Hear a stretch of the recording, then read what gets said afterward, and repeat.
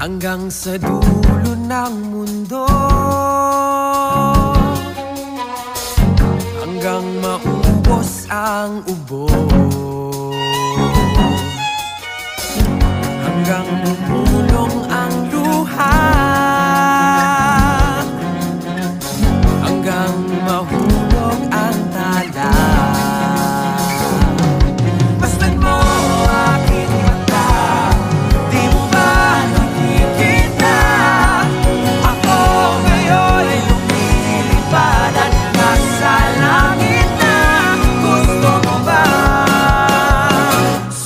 mama.